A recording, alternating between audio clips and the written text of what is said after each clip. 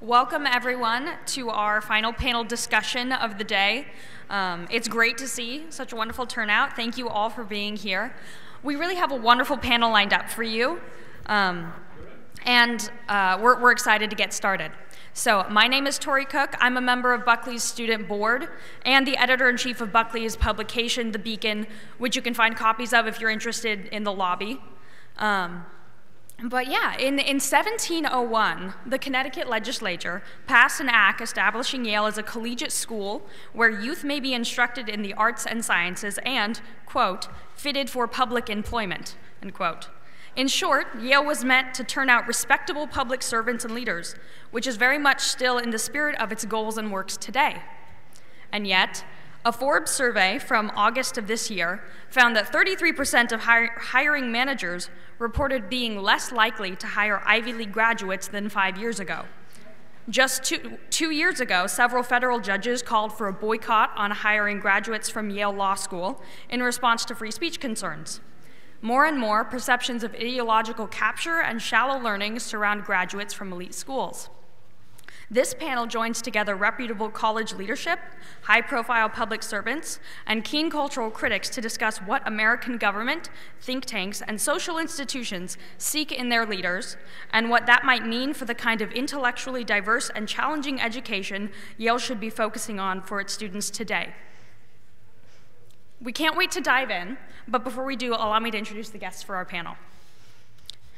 Pano Kanelos is founding president of the University of Austin. He was uh, of the University of Austin. He was previously president of St. John's College Annapolis, the nation's storied Great Books Liberal Arts College, during which time he successfully launched a historic initiative that included the most significant tuition reduction at any American college. He is widely acclaimed as one of the country's most powerful advocates for liberal education. He was previously Dean of the Honors College at Valparaiso University and held appointments in English and theater at Loyola University Chicago, the University of San Diego, and Stanford University. An ardent Shakespeare fan and scholar, he has published widely, including the Shakespeare and the Stage series. He holds a PhD from the Committee on Social Thought at University of Chicago, an MA from Boston University, and a BA in English from Northwestern University.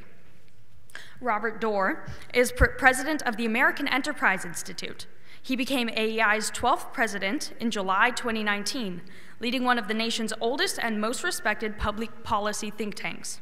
Since becoming president of AEI, Mr. Doar has recruited dozens of leading scholars and fellows across multiple issue areas and launched a new research division focused on social, cultural, and constitutional studies. By supporting the extensive work of AEI scholars in areas including foreign and defense policy, education, the reform of key institutions, and the U.S. economy, Mr. Doar has helped to solidify AEI's position as a leading voice on the major issues facing the United States. Mr. Doar joined AEI in 2014 to lead the Institute's Opportunity and Mobility Studies program, after serving for more than 20 years in leadership positions in the social service programs of New York State and New York City. Charles C.W. Cooke is senior editor at National Review and author of the Conservatarian Manifesto. Along with National Review, he has written for several other prominent publications, including the New York Times, Washington Post, and Los Angeles Times, to name a few. Mr. Cooke is host of the Charles C.W. Cooke podcast, where he talks to experts and fellow compatriots in journalism about everything from politics and technology to music and golf carts. In an episode from September of this year, he discussed academic freedom with Yale law professor Keith Whittington, whom we just heard from, if you were at the previous panel, which included a discussion on how to prevent universities from becoming ideological bubbles. He is a graduate of the University of Oxford, at which he studied modern history and politics. He moved to the United States in 2011, became an American citizen in 2018, and lives in sunny Florida with his wife and two children. We'll begin by hearing opening remarks on the topic from each of our panelists. Dr. Kanelos, if you would please begin. Thank you, Tori, for the introduction. Thank you for calling me reputable. I, I was grateful. it's very nice. Um, I, so I have a thesis that I'm going to introduce, but before I do that, I'm, I'm, I'm going to be very pedantic, and I'm going to kind of, uh, I want to talk a little bit about the history of universities, what they have been and maybe what they should be. Um, I, I've always I've always leaned into Cardinal Newman's definition of the mission of a university that is simply a place where we see things as they are. And I think that's something good. But I also agree entirely um, with uh, Professor Christakis's um, embrace of universities as places for the discovery of knowledge, the transmission of knowledge, and the preservation of knowledge. Um, in fact, it's knowledge, I think, that's the key word in all of this. Universities have always been places that prepare graduates for the knowledge economy. Even back in the earliest days, when 1088, when Bologna was founded, and soon after Cambridge and, and Oxford and, and the Sorbonne, uh, back then, the knowledge economy was rather limited. There were very few professions that were primarily intellectual in nature. There was the law, medicine, and theology. And that's pr primarily what these institutions prepared their graduates to pursue. Um, the knowledge that uh, that these institutions focused on was something I would, I would think of as guild knowledge or craft knowledge, a knowledge on how to do particular things and, and their mission was to transmit that knowledge from one generation of practitioners to the next. As universities evolved over time, um, and sort of fast forwarding to the United States, we had the development of the collegiate system here, places like Yale, which started as Yale College, and Harvard College, uh, Princeton, which started as the King's College. Um, the purpose of these institutions is also primarily the transmission of certain kinds of knowledge. Uh, they, are preparing a kind of uh, a cultural elite through programs that develop cultural literacy and character development. Right, so the, the idea was again to kind of craft a certain kind of person who would play a certain role in society.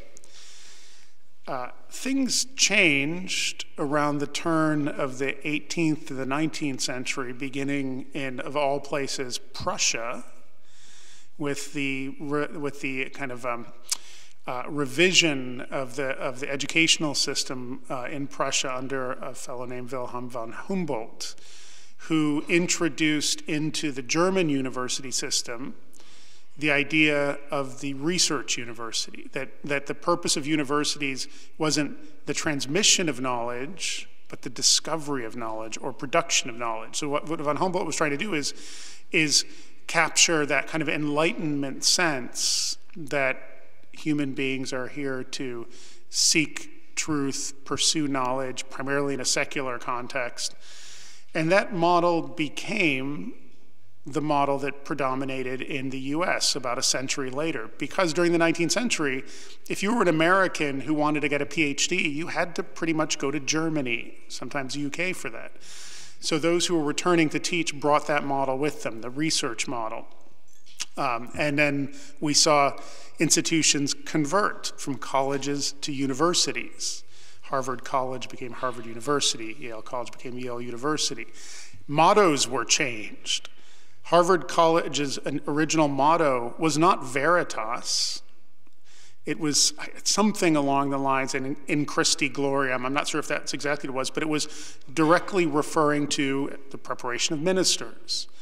But now with this new secularized Enlightenment Humboldtian model, all right, Harvard took a more uh, innocuous motto, one that had no particular faith connection and was conveniently Latin, Veritas as its kind of beacon, as did Yale with Lux et Veritas. So, why does all this matter? Well, it matters because when we get to the 20th century, these schools that had been predominantly preparing, polishing, an elite now had to deal with the fact that the knowledge economy that had been relatively limited during the development of, uh, of Western civilization became the predominant part of the economy. In the 20th century, we saw the massification of the knowledge economy and then the massification of universities. We needed more and more people who can work, do work that was primarily intellectual in nature. And what does that mean? Simply, we needed to train people to, in the mastery of language, mastery of numbers, and the mastery of symbols. And those who could best master those things would be most successful in this economy. And so universities became places that filtered for those skills, filtered for the aptitude to be able to master language, language and numbers and symbols. This is where we saw, for example, the SAT uh, arise in the, in the early 20th century to look for, for young people who had those talents and to cultivate them. So, where does that bring us now? And why does this, how does this relate to the crisis that Tori was talking about? The fact that many employers do not, are not as eager to hire graduates from places like Yale or other elite institutions as they were in the past. Um, the mastery of language, the mastery of number, the mastery of symbols depends on the free and dynamic exchange of ideas that allows complex analysis and synthesis. So if you're filtering for people who can you know, engage in this sort of mysterious thing we think of as critical thinking, to hone the mind, they have to be able to challenge themselves with ideas. The mind is a muscle. Muscles can only be strengthened by tension, by conflict, by pressure. So, if we have an environment now where universities are no longer encouraging the free and open exchange of ideas, we are no longer preparing those young people to engage in the very difficult work of the life of the mind outside of universities. And, and I'll, I'll, I'll conc- just conclude with this. We have created a system in which to get into one of the elite universities, Students learn very early on. I have high school kids now, I'm in the middle of this. That the way to um, be accepted through the admissions process at elite university is to follow a very narrow path, to check a lot of boxes, to do a lot of safe things, to conform, to avoid risk. And so the kids who are successfully getting into places like Yale, many of them, I'm sure none of them in this room, but many of the students out there have been beaten into being conformist. And then they get here. And what do they learn here? Shut up. Keep your opinion to yourself. Do you want the pot of gold at the end of the rainbow? Don't make a fuss.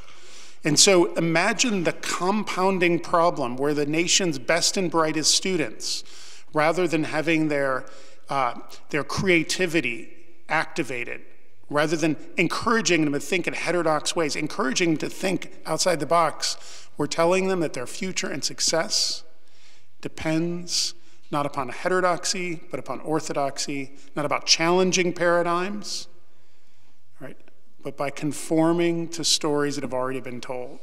And I think the compound effect of that on the culture is very problematic. And I would like to see more and more graduates from Yale have the kind of uh, intellectual uh, authenticity that I see from students who are part of this, uh, part of the Buckley Institute and in this milieu. So thank you.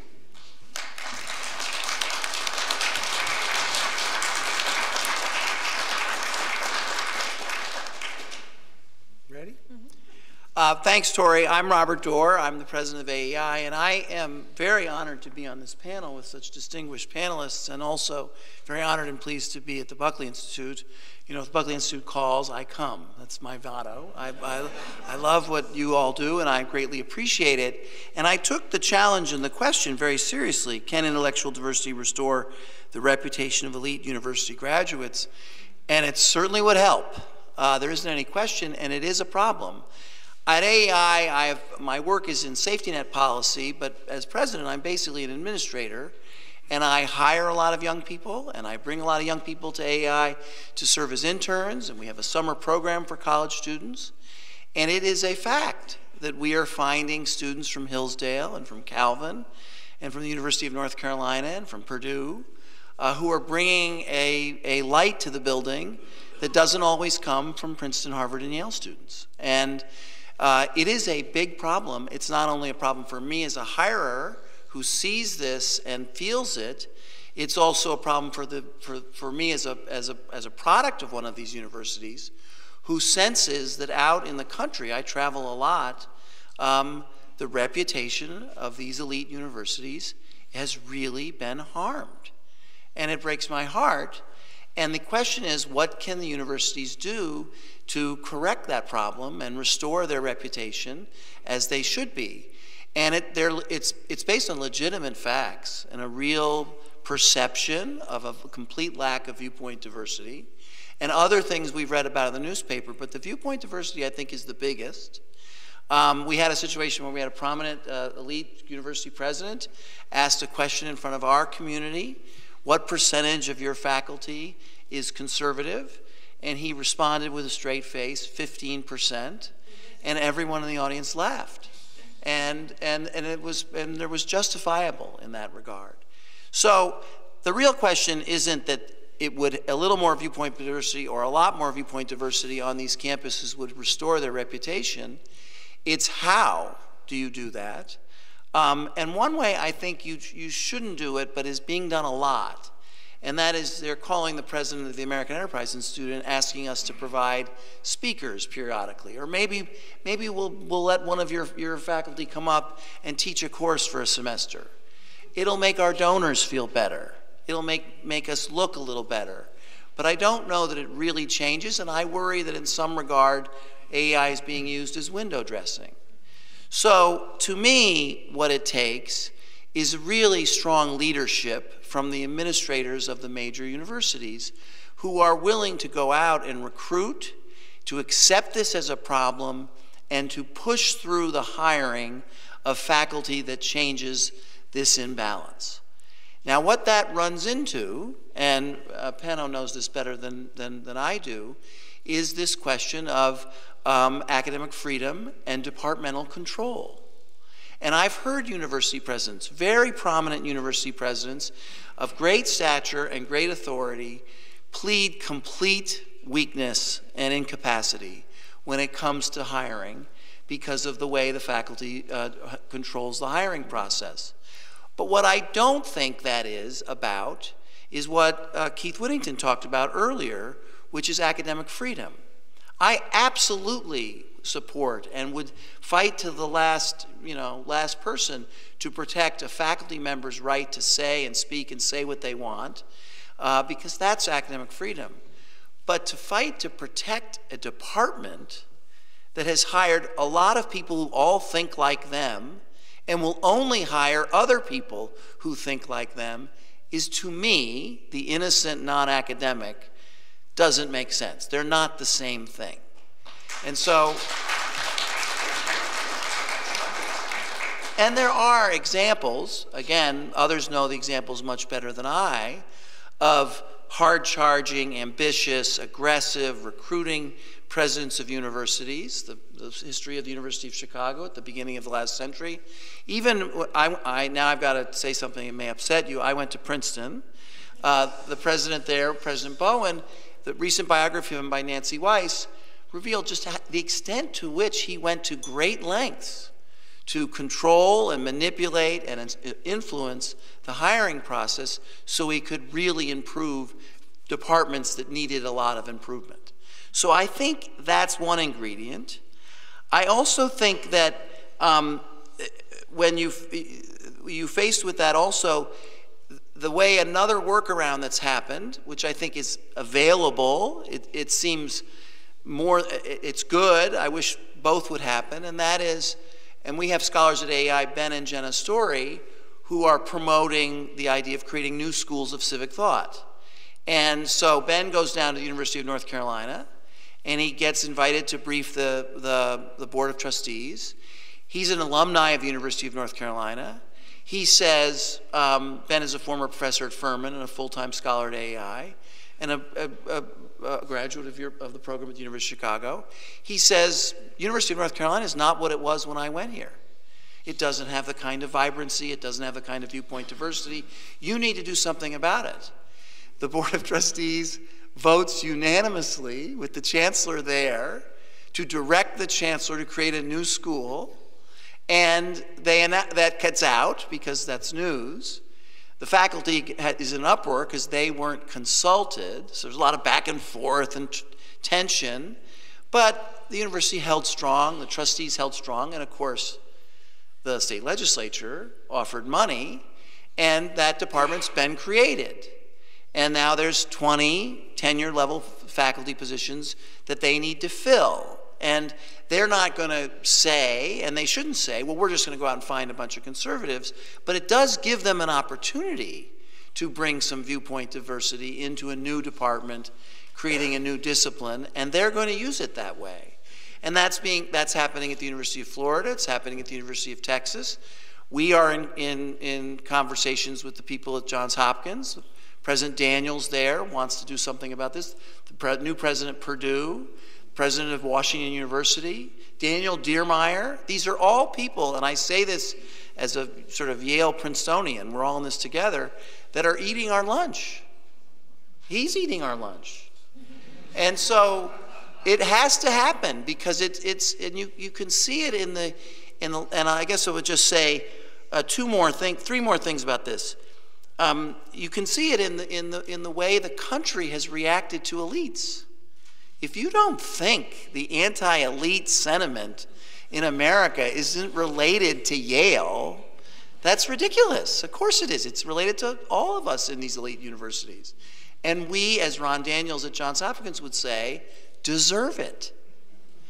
So, another thing you need to do, and this came up, there's been references to this, and Larry Summers has spoken out, out, uh, out, outspokenly about this, is you can't be requiring faculty members to get hired to sign DEI statements. I mean, that, you just can't do that. And again, and again, this was brought up to an elite president university by another elite of a elite president of elite university, and the, the, the response was, well, I agree, I hate those. As a constitutional law scholar, I have a problem with those but I don't control my departments. These are departmental decisions. And I don't really, I, I have a hard time believing that being against those violates academic freedom. Um, I think being for them violates academic freedom. So that's another thing. Um, and then the last point I'll say, and this is one that I, I is, you know, I, I, feel, I felt when I brought it up with someone who was the president of a major university that I was maybe touching a third rail. Um, but may, I guess not, because his reaction was very positive. Um, in order to create intellectual diversity at campuses, you not only have to bring more faculty and different faculty with different perspectives, you also have to bring more students with different perspectives. And you got to talk to the admissions office because um, there is something going on there where uh, students that are coming to these universities aren't ideologically diverse. And um, I can't believe it's because all the conservatives aren't smart enough. And so, and, and so I raised this with the prominent university president, and he said, Absolutely, I'm talking to the admissions office. I say to them, and this was the quote he said, bring me some, get me some conservative students to help me out in these battles I want to have. And I think that's a, a, a major issue. Um, and so I, I, I got to tell you, I think the reputation of these great universities has been tarnished. Some people have gone out to create new universities and start fresh. Others, and I think with people who've created universities with your support, are trying to get the great universities to reform and get better. We need to do both.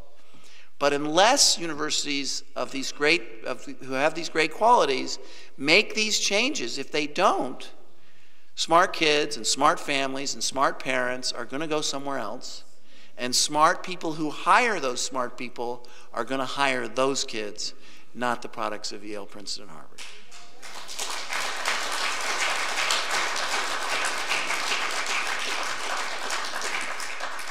Thank you for having me. I'm going to I'm to press this button on my watch because I'm told I speak quite slowly. People who listen to my podcast apparently listen to it at three times speed. And one, one guy emailed me recently and said he listens to my podcast at three times speed um, and he slows Ben Shapiro's down three times. And then we end up saying the same number of words over half an hour. So I just want to make sure I don't go on. Um, so I remain um, astonished at the number of these sort of panels, sometimes debates, that I'm invited to or that I attend on college campuses and in media institutions. Not because they aren't worthwhile, they absolutely are, but because if you step back, you would think that those were the last two institutions where we would be debating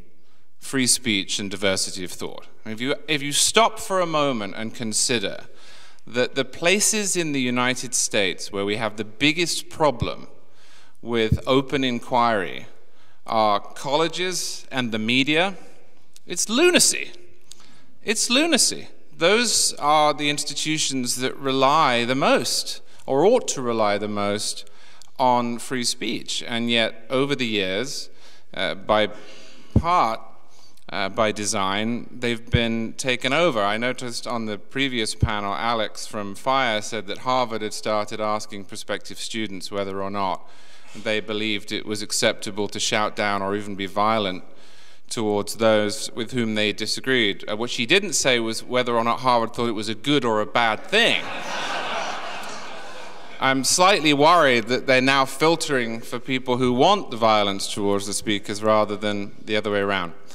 I think at root, what bothers me about this the most is that if you go to a good college and you end up in a, stultifying, stifled environment, you're just not going to fulfill your potential or learn what you should. And I, I find this astonishing um, as someone who went to Oxford in 2004 and saw precisely none of what we're now talking about until I'd left.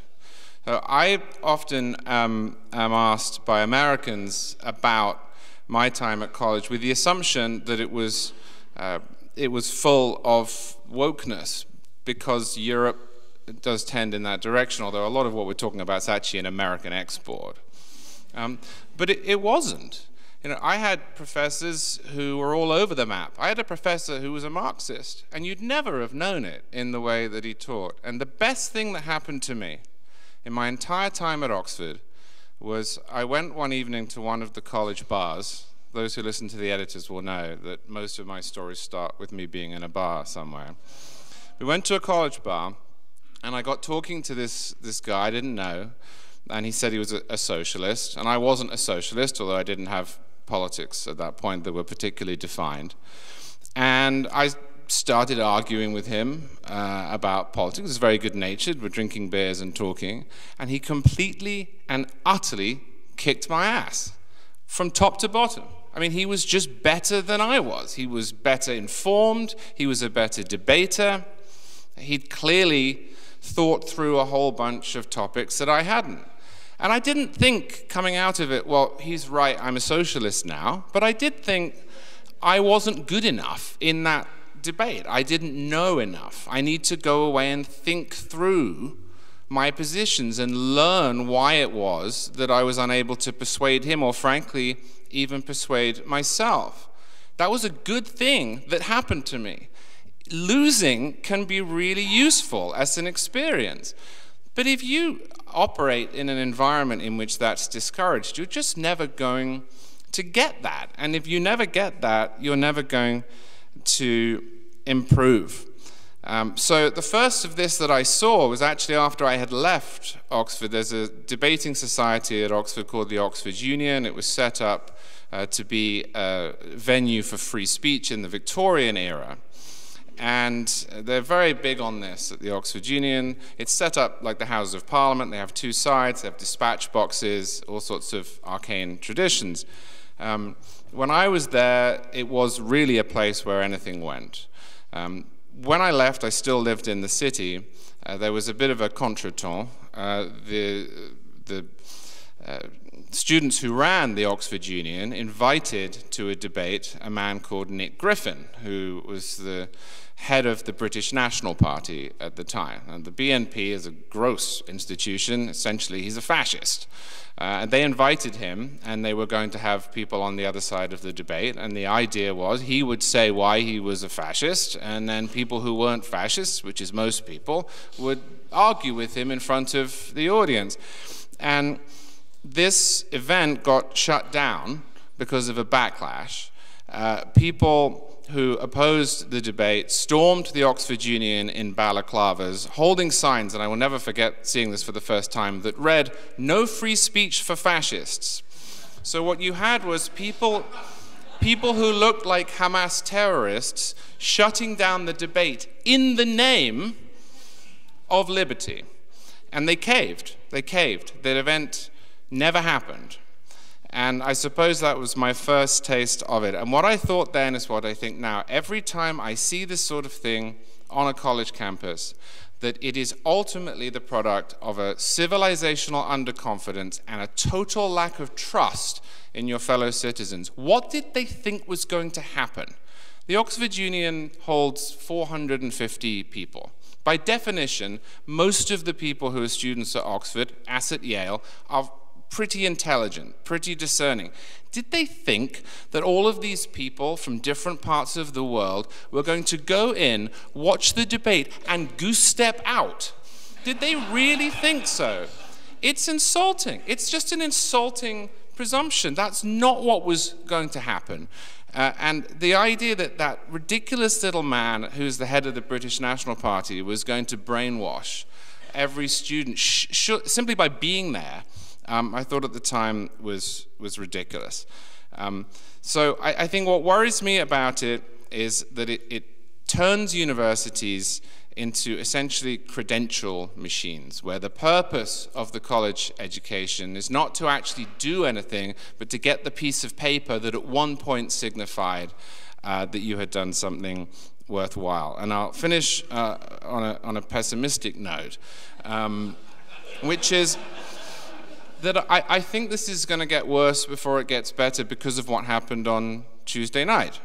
Um, I have been watching the explanations promulgated uh, from the left side of the aisle now for 10, 15 years as to why they don't win. And at one point, it was money. It was money in politics. This was huge. Citizens United was to blame. There was too much money in politics. Uh, now, Bernie Sanders still believes this to his credit, he's been consistently wrong, but the party writ large, the left writ large, has moved away from this because their side has started to raise a lot more money than the right. In fact, this election was a great example of it. One side raised a billion dollars, that was the Democrats, one side spent 300 million or what you will. Because of that, that explanation no longer really flies. They don't really want to get money out of politics. So what they've landed on, and you saw it coming before the election, I think you're really going to see it flower now, is misinformation. Misinformation, disinformation, lies, the idea that there is some shady network of podcasts and renegade publishers who are brainwashing people into voting against their own interests. And I think uh, that in the short term, we're going to see the uh, institutions uh, of, of, which Yale is one go more down that road, um, not less. But the good news, the good news here uh, is that there is only so far that you can push that before the reputation starts to suffer, before people start saying, well, actually, I'm quite interested in what Pano is doing. Uh, my kids will go there instead. I'm quite interested in what Hillsdale's doing. I will go there instead. And I do think the market will ultimately correct it, but I think this is actually a moment of higher challenge, uh, not lower.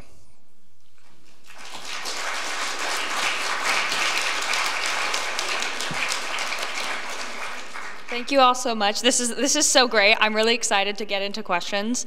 Um, before we turn it over to the audience, I kind of wanted to open this up with a question for specifically the students in the room. We've talked about a lot of reasons why this stigma is has been created and what people are seeing that is causing them to be concerned. For the students in the room who will most likely not be in college when this problem is solved, if ever, what can they do and keep top of mind as they're trying to position themselves professionally? Is there a role for consumption of or participation in alternative media, uh, things like vocal political activism, or is that one of the problems? How can students trying to position themselves, coming from these universities with these sorts of stigmas, um, how can they position, position themselves professionally um, despite these you know, difficulties? Uh, I, I, would like to start off by that because I am in this business of hiring students all the time. And I'm also traveling to college campuses a lot. And, and, I, and I know it came up in an earlier session. Um, uh, it's, not, it's, it's not helpful. Sometimes um, conservative or different thinking students uh, will say to me, um, I'm afraid to speak out, I self censure because of being shunned or treated. And I am not, don't have that much patience for that among Yale and Princeton and Harvard students because they are Yale, Princeton, and Harvard students. And I was one too. And I think that um, they need to, need to not be afraid to be a part of the Buckley Institute, to speak up in classroom, to challenge uh, their fellow students and the faculty and to be active, to write op-eds that take strong positions. Uh, because I'm so, I, I, it, it, pains me to talk to a, a, a, senior in college who, who is afraid to, to take a chance or speak out. And so one way, if you're trying to avoid the stigma, I think that's the way you said it, is to make it clear to people who would hire you that you were brave and that you wrote and said. You might do it with some humility. You might say, you know, I've learned from that. I, I hired a young man, he writes um, often for National Review, Tal Fortgang. Uh, some of you may remember him. He wrote an essay while he was at Princeton that um, challenged this check your privilege language. It got a million hits on time. He was a notorious sophomore at Princeton. Um, and I went to get him, and I wanted him to come to work at AEI. and I, we met at Bryant Park in New York City. And I said, Tal, uh, uh, how, uh, how'd that all work out? And he said, well, you know, I, I, I learned a lot from that. And there's some of what I wrote then, maybe I might not write it exactly that way. And that was great. And of course, he came to AEI, and then he went to NYU Law School, and now he's published all over the place. So I just, uh, that's one thing. Get, do that and uh, instead of saying I was a conservative that was afraid to talk out because even though I went to Yale or Princeton or Harvard, I was worried about my reputation. I'd, I'd offer this to the students who are here. Um, you guys are the ones who are going to win. Yeah. All right? Your peers are sheep. You, you are the eagles okay? Just, and you're going to soar. And outside the hothouse of these ridiculous environments called universities, the world is on your side. All right? So be mavericks, be strong, just do it.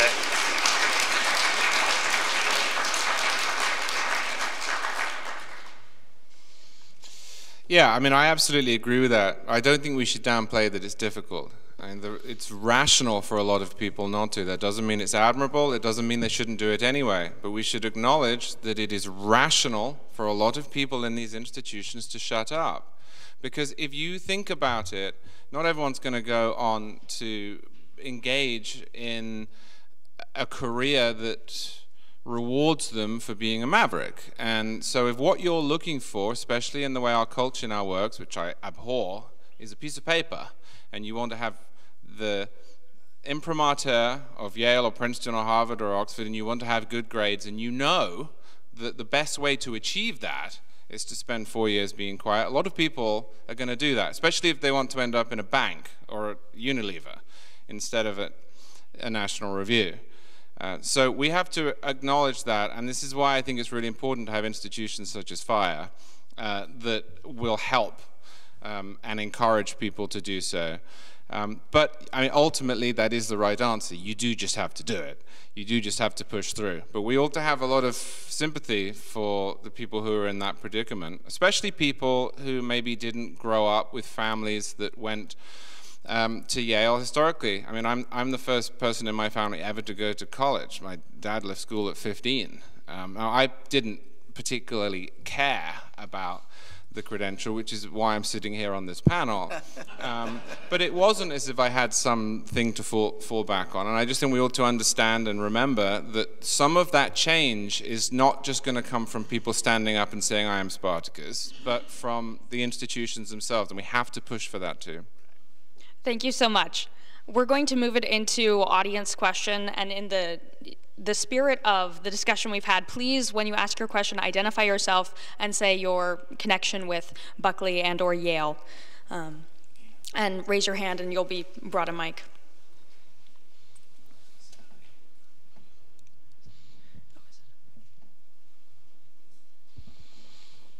Thank you so much. Uh, I'm Michael Weingrad. I'm a class of 1990 Yale. Uh, I'm also a professor of Jewish studies at Portland State University, a place that has known some of these, uh, these issues, although I'm happy to say that I'll be spending next semester as a visiting professor at Hillsdale, so I, I get to go from hell to heaven. uh, I want to thank Pano for creating another heaven, and I want to thank Robert for pointing out uh, the, the systemic problems that we're dealing with, uh, that there is such a thing as ideological capture when uh, uh, statements about intellectual diversity no longer really work because everyone is already of the, the same viewpoint. And uh, so I wanted to ask the question of uh, how, we, how we can affect things before we get to the hiring point. Uh, you're all well aware of the, the ideological and structural gauntlet of uh, PhD production in which uh, you have to get past your, your dissertation committee. You have to formulate questions that are acceptable to the discourse of disciplines. Disciplines themselves uh, do not permit of, of uh, dissident or, or conservative thought. Um, so how can we, between the, the undergraduates and the, the potential new hires, um, how do we create that uh, something approaching a critical mass. 15% seems glorious. Uh, in most cases, we're dealing with. True, even if it was true. Even if it was true, right. Well, I, I mean, I, I, I, think I'll answer this. I don't know if this is a, a solution that's readily available to most institutions, but um, to identify the problem, um, the the the, the Wuhan lab of ideological capture is the tenure system. Okay. Don't quote me on that. I would get in trouble for all sorts of In other words, there's a, there, and the system is, is set up to give people unassailable jobs for life under the guise of academic freedom, but it's not really academic freedom because they never hire anybody who disagrees with them. They're secure in their job and they get to decide who gets hired and, and and then and you know for there there it's it's like a triple distillation. As you were mentioning first you have to get through graduate school and and if you're not um, on the progressive side of things you're going to keep your head down and you're going to you're going to pass and and pretend. And then you go on the job market you're going to do the same thing. And then if you get a job you go through the next gate. You have six years before you're tenured and then they get to decide whether to tenure you or not. There's by the time that you that you're one of the people who gets to be a decision maker, the people who might think differently have been completely filtered out of the system. The tenure system has to change, and uh, we do not have tenure at the University of Austin. All right, we just uh, what we do. We have really robust contracts that say do your job, and we're going to continue to reward you and employ you. I mean, imagine that. You know. How do you protect academic freedom? That's a very good question.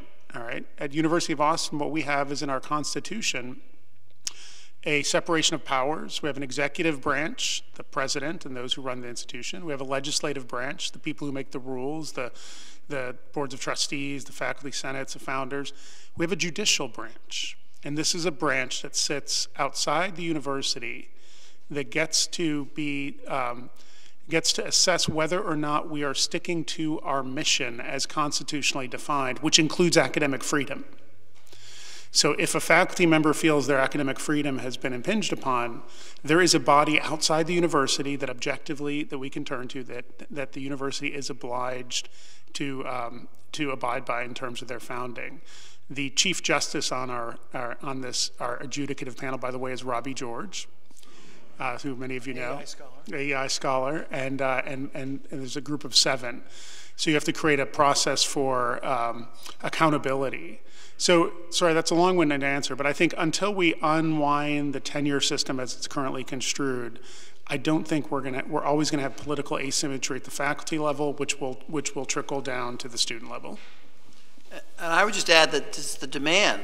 If you create, if, if university leadership and universities make a demand for, for this, a different kind of professor, different, and, and that the professors that will bring intellectual diversity to campus, that will, will help you get more supply. I mean, Yuval Levin would tell political science hotshots at AEI who said, I'm thinking of going in to get a PhD in political science three or four years ago, he would have said, don't do it. Because if you're a conservative, there's no real opportunity for you. It's so tight.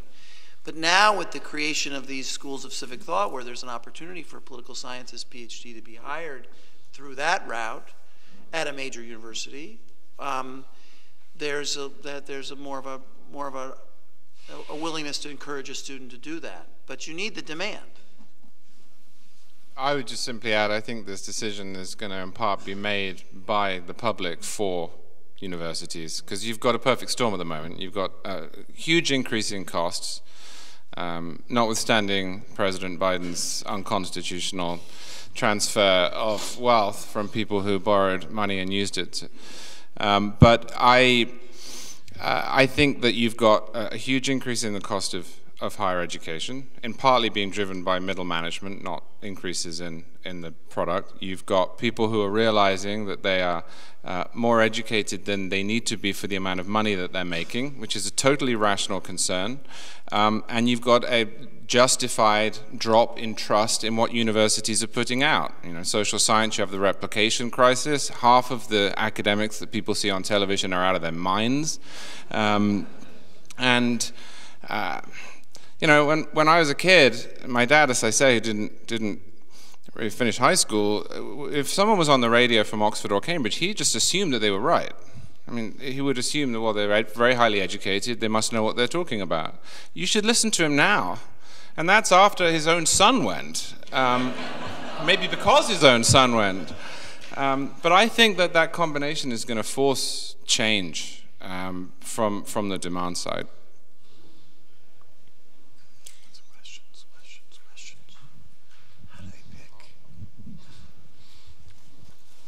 Thank you. Uh, my name is Roshan Datalf. I'm a first year at Pauli Murray College. And we've talked about this idea of departments only hiring uh, people that agree with the department. But uh, take, for example, like a health department, uh, where most of the people in the department believe in, say, like vaccinations. Do we hire the anti vaxxer only for the sake of intellectual diversity? And if not, who decides where to draw the line in the sand?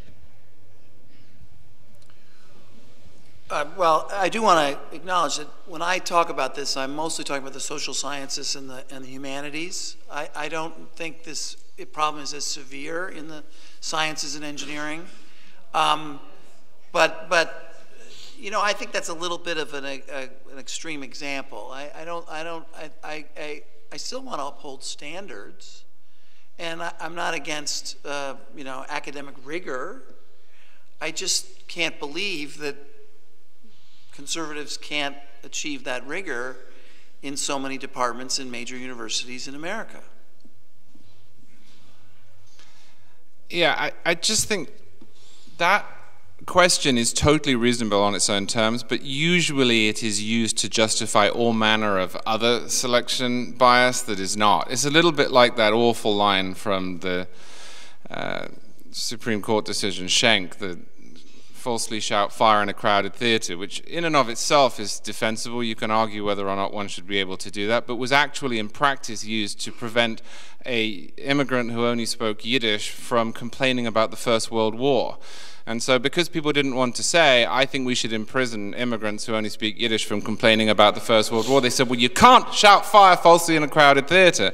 I mean, yeah, if, if we're talking about a physics department where somebody who's applying thinks the world is flat, then yeah, maybe you don't want to hire them. The problem is that that kind of argument usually means that um, that we don't want to hire people to a politics department who aren't communists. And I just think that you know. Um, it, it's taken so so far, it's become so um, endemic in academia that the, the center of gravity in the hiring committees is just off. I'd, add one thing to this. I think I actually avoid the term um, intellectual diversity and prefer intellectual pluralism, and I'll, I'll explain why, and it, it bears upon this the, the, term diversity, as we commonly use it now, has become really reductionist. Like there are just two sides to everything. There's a, a, blue and a red, a left and a right.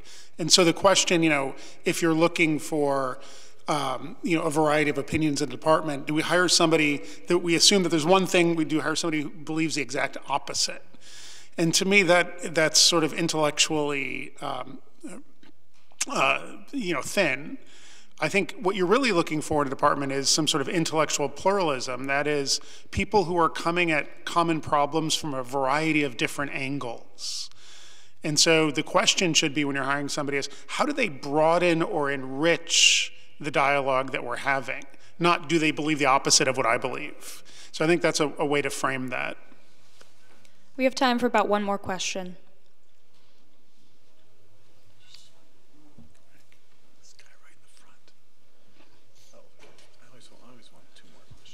Thank you. Um, my name is Justin. I'm a Buckley Fellow and a first year political science PhD student here at Yale. My question um, in this debate about intellectual diversity, uh, intellectual pluralism, how do we avoid a negative feedback loop? So by that I mean, like honestly from my experience, Jewish American students seeing what happened at Columbia, at Penn, and saying, well, why would I apply to those schools? You go to, I'll go to Florida and everything will be okay.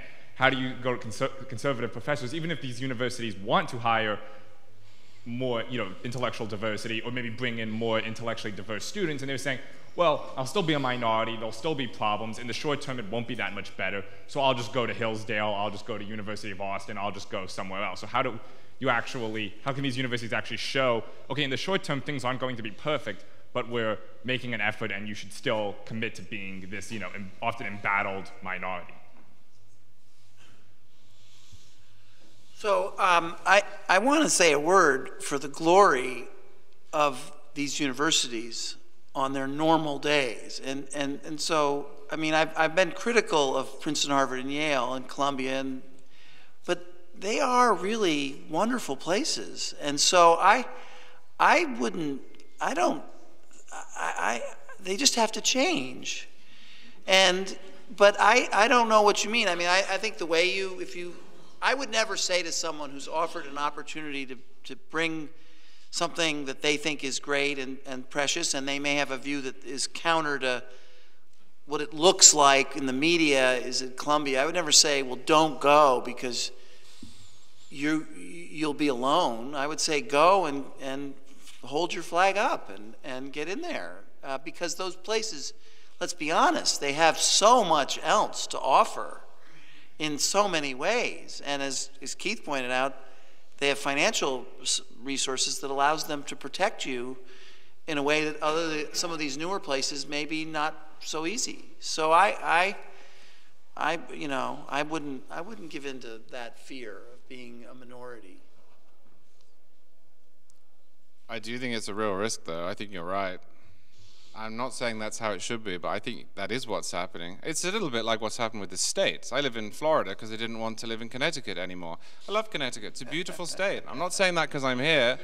I, am not saying that just because I'm here. I lived here for four years. I loved it. It's, it's great. I miss the, the trees in the, well, you would say fall. I was about to say autumn and out myself, but but it is what's happened. We are sorting ourselves as as Americans, and that is a that is a real risk. I mean, you, you have to stop it though because it's what they wanted. If you go back to the Students for a Democratic Society's mission statement in 1962, people always think this is a conspiracy theory until you actually show it to them. They said it. Students for a Democratic Society said the universities are very powerful, very influential, and they carry a cachet, and if we can take them over, then we will have more power in the United States. And they did it. That was 62 years ago. They succeeded in doing it. And the only way to stop that is to take them back. But again, it's difficult on an individual level not to succumb to what you just described. And I think the Jewish example is a really good one because, especially if you think that you're going to be targeted on the basis of your religion or your ethnicity, why, why would you go there? So it is tough. And I, I think you are a catalyzing change by making a decision not to patronize these institutions. They will respond eventually. You know, I mean, Tulane University right now is over 30% Jewish. It's in New Orleans. That seems counterintuitive. But it, but you know, but uh, but that's it's a place that's op- openly embraced Jewish students, and because of that, it's become enriched by their presence and, and other institutions have lost lost something important. And I think that kind of migration, I think ultimately there'll be a kind of course correction. But I think students making choices for that reason is actually helpful to the whole system. The best and brightest should think twice about whether or not they want to attend institutions that are going to treat them in a hostile fashion. They should. Some will choose to attend those institutions, and I think those that there'll be something very rewarding in making that decision. I do. I think raising your flag and being courageous, there's reward. Some will choose to go elsewhere and put pressure back on the system. Well, we've heard some wonderful thoughts here today. Um, would the audience please join me in thanking these wonderful guests?